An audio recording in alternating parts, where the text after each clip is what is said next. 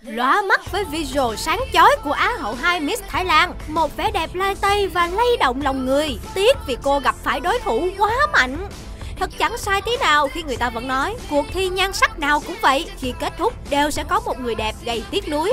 Và tại Miss Thái Lan mới đây cũng vậy, dù vẫn đạt danh hiệu Á hậu 2 nhưng vẻ đẹp của Arabella Sitanan vẫn khiến người ta phải suýt xoa vì chẳng chạm tay vào danh hiệu cao nhất sở hữu visual lai tay trong trẻo cùng thân hình chuẩn chỉnh mà người đẹp này đã đốn tim được triệu khán giả. Chưa kể trong đêm chung kết, cô ấy còn diện một chiếc đầm xanh khác biệt và vô cùng nổi bật trong top 5 chung cuộc. Đúng là thời thế thế thời, không phải cứ xinh đẹp là sẽ trở thành hoa hậu. Tiếc rằng Arabella lại đi thi đúng vào mùa giải mà xung quanh cô toàn đối thủ nặng ký.